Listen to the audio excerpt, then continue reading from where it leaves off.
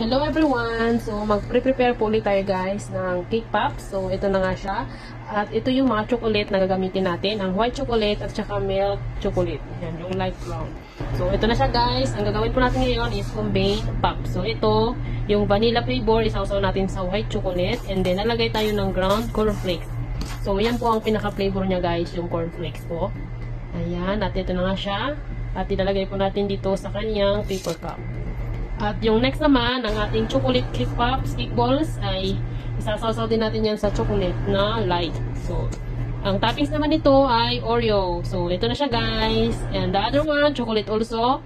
Isawsaw natin ulit sa light brown at i-dip natin sa pistachio. Yan.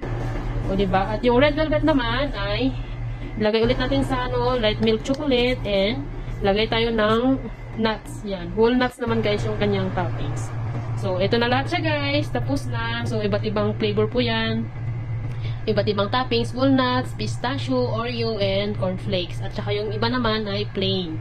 So, hanggang dito na lang guys. Thank you for watching again. Bye-bye!